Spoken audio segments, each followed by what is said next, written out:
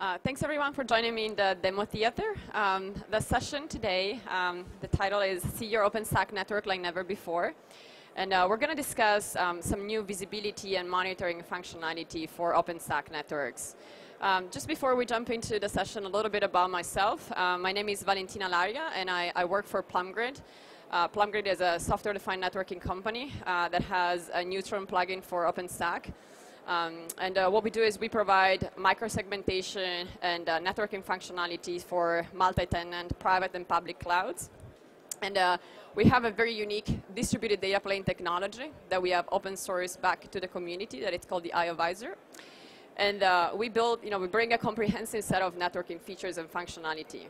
And I personally have been part of the OpenStack community for a number of years. Uh, my very first summit was in Santa Clara many years back, so it's, it's awesome to see how we've grown as a community. And I work with a lot of customers on a daily basis, helping them understand how to take OpenStack as a technology and the ecosystem of products around it and build solutions that will accelerate their business.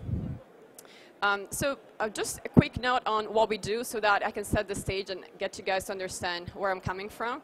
Um, so the product that we've had for OpenStack for a number of years is called PlumGrid ONS. Um, and as I said earlier, it's an SDN solution. It's based on overlay technologies. So it's a software-only solution that leverages a software data plane that goes inside each compute node. It can deploy on top of any physical infrastructure, any hardware, any networking gear, and brings you these isolated multi-tenant environments, what we call virtual domains. Inside a virtual domain, you can define any networking functionality for an application. And you can define a topology, that it's a logical topology.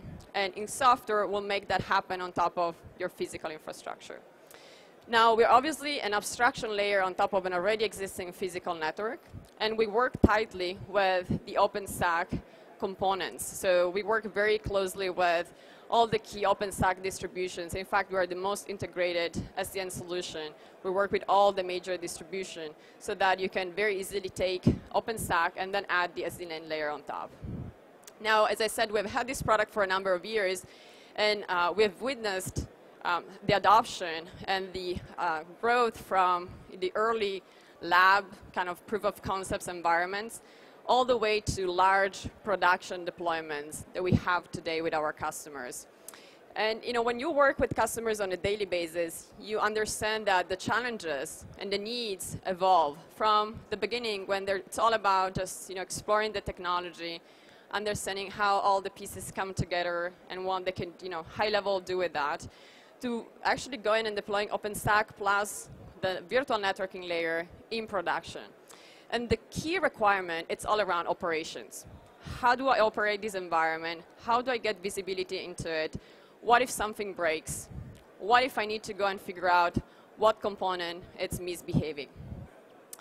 Now, um, as I said, I, I, am lucky enough to spend a lot of my days with customers. And um, so what I did when we embarked in this journey of creating operational tools and visibility tools for the networking component in OpenStack, I asked them, so what are the key challenges that you have today? What are the key challenges that you face today when you go and try to troubleshoot your OpenStack environment?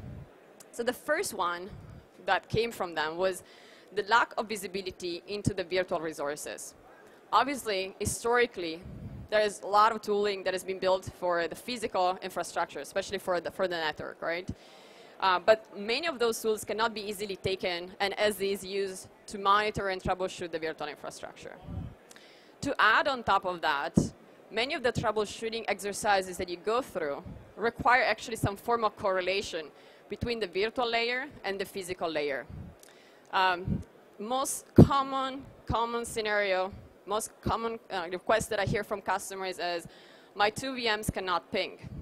Even this very simple troubleshooting exercise means that I go from a VM to the server, I need to map it to the virtual network, map it to the physical network, traverse both, back into the physical, back into the virtual. You can see how I'm traversing all these layers of the stack. So the second need for all the customers we work with is how do you provide correlation between this virtual layer and the physical layer so that I can easily move between one and the other. The third, it's the lack of real-time information, heat maps, real-time health status. Um, again, historically, the network has been monitored with sampling and looking at historical data and figuring out what happened in the past. Well, now in this cloud environment, we want to know when something is happening, not when something happened. So real-time information is crucial to go and perform that task. So what we did is we went and looked at what's available out there. What are the tools that others have built to look at the OpenStack environment, and especially at the SDN or a networking layer in OpenStack. And a lot of the tools out there have a very traditional look and feel, something that maybe you know look familiar and normal to you, which is lots of tables, lots of rows, lots of data and information presented, really hard to spot a problem. So a lot of the exercise of actually troubleshooting an environment is left to the user. We need to go and figure out, oh, does this row here mean that that entity, whatever that is, it's experiencing some issue or not? Um, a lot of times, based on agents, right, they're trying to monitor your infrastructure, so can really only look at a simple, small percentage of data.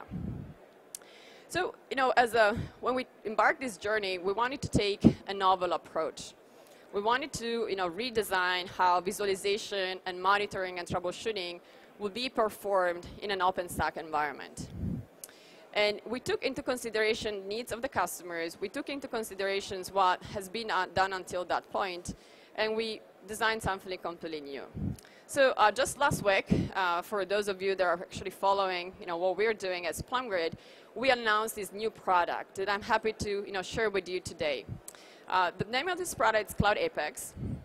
And as you can see from the name, you know, it really helps you look at your OpenStack environment from a new, completely different perspective, point of view. Um, what Cloud Apex does for your environment is that it brings a cloud visualization platform that gives you real-time health information about both your virtual and physical resources.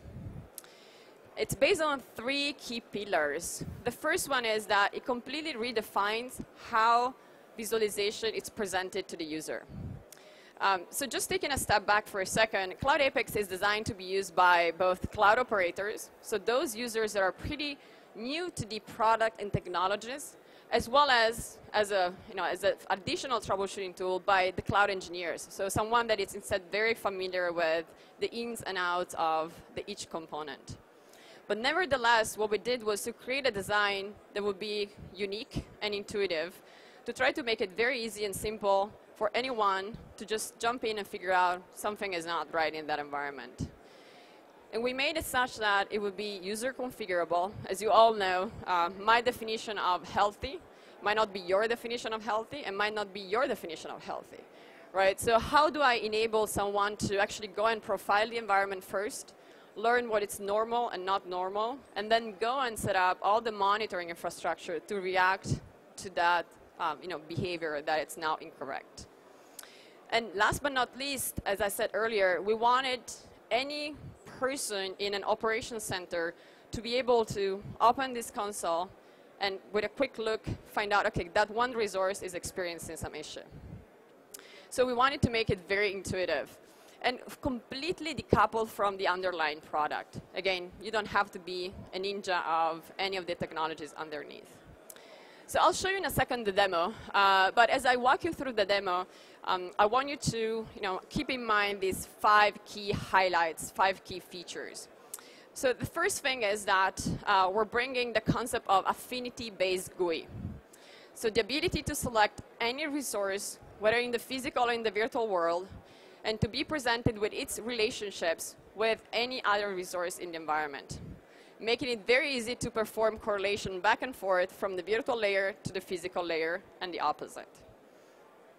The second big group of features is the ability to layer real-time health status information, what we call heat maps.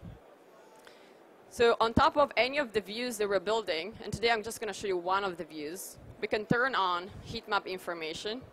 This is what is configurable by the user. You can then look with a very quick glance at the environment and figure out exactly what component is experiencing issues. The third part is around the ability to, again, correlate and search for information in the environment. So what we call the cloud-wide search functionality, where I can enter any pattern, any string of characters, and look for information across the resources, the real-time logs, and any of the uh, heat map information. And last but not least, troubleshooting functionalities. I'm just going to touch on that, but what we've done is we built a very comprehensive portfolio of tooling at the virtual network infrastructure layer. So a lot of things that you would do on a physical network, like trace a packet or you know, do a tap or these sort of things like TCP dump, uh, we enable you to do it at the virtual network layer. Now, all of these, it's empowered by the fact that we have a data plane component that it's programmable and capable of running tracing and monitoring functionalities right in the kernel. So none of this, it's built on agents or sampling. It's looking at every packet that traverses the kernel inside each compute node and can present this correlating information back to the user. Okay? Now let me show you a quick demo.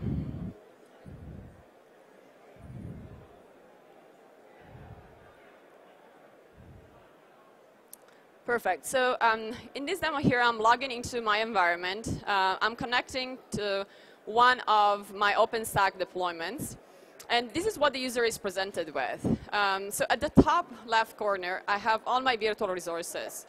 Now in PlumGrid terminology, I said earlier, virtual domains means tenant environment. So I have my tenants. I have my virtual machines.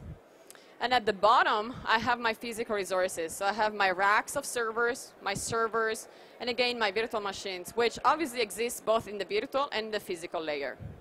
And on the right side, instead I have detailed information about the environment. Now you can see the look and feel, it's quite different, right? There's no tables, uh, there's no rows of data.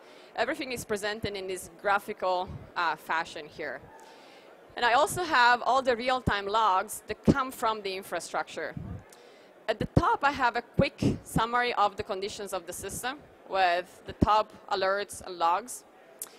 And if I want to download and export some of the information, I can also access it in a tabular uh, format. So if I want to go and export it into you know, um, Excel, for example, or any other uh, you know, tool that you might be using.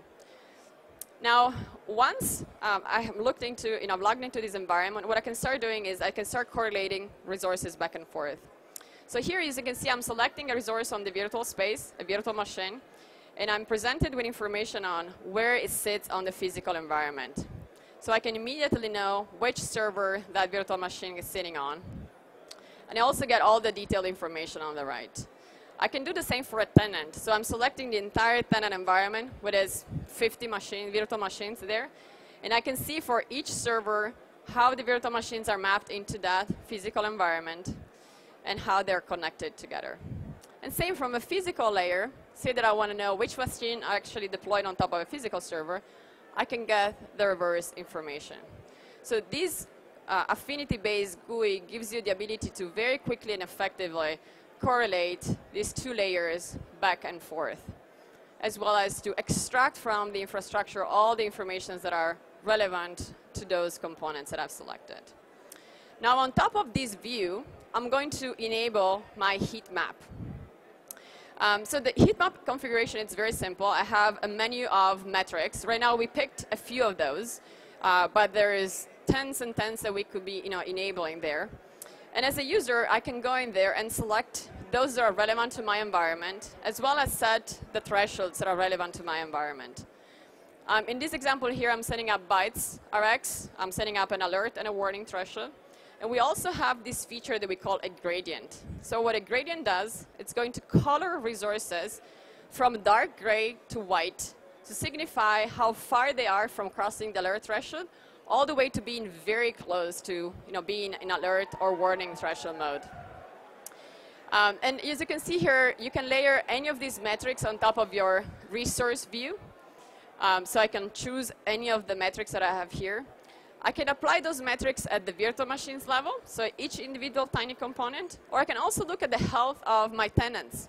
This is very important for a cloud operator. I just want to get a feel for how each tenant is behaving. So this gives you that visibility right there. I can also do the same at the physical level as you see at the bottom. Now the last feature is the ability to order by criticality. So if I order by health status, I get presented with those resources that are in critical state first, and those that are instead in normal conditions. So I can very quickly go and act upon it. Obviously here I set my thresholds very aggressively because I wanted to give you guys a view of all these colors changing. You wouldn't have this many, right? You would have a couple of entities probably in yellow state, but this is just to give you a feel for how this is working. Now, um, what I'm doing next is I'm showing you how I can search across the resources and the heat map information as well as the logs and all the real-time information that I have in the system. And I can search for IP addresses, I can search for UUIDs, I can search for MAC addresses, I can really search for you know, any field that we have access to. And this is very important because um, as an operator, they often don't have access to their OpenStack environment. So they just want to be able to go in there and search for a specific tenant name and you know, pull out all the records that are relevant to that specific environment. And all of these, as I said, it's real time, coming directly from, uh, from the OpenStack components, coming from the SDN layer, and coming from the physical network environment. Last but not least, um, obviously once you've monitored and you've figured out that something is misbehaving, you want to go and act upon it. So the first thing that I'm showing here is the ability to go and look for logs. These logs give you visibility into the environment. They give you visibility into the components. And once more, you can filter by a specific entity. You see, it's very simple to gather uh, monitoring information here. Um, so um, this was what you know I wanted to show you today with the demo session. And uh, um, we're at the PlumGrid booth, is, which is in that corner there, um, and I'm going to be hanging around a little longer. So if you have any question or feedback, since this is a new product, I would love to hear your thoughts and comments.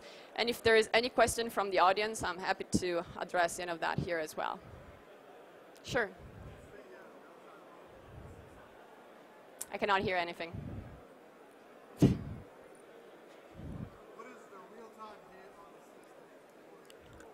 So um, because this is a, a, a, kernel component, did I hear well? What is the heat, uh, the in terms of performance? You mean?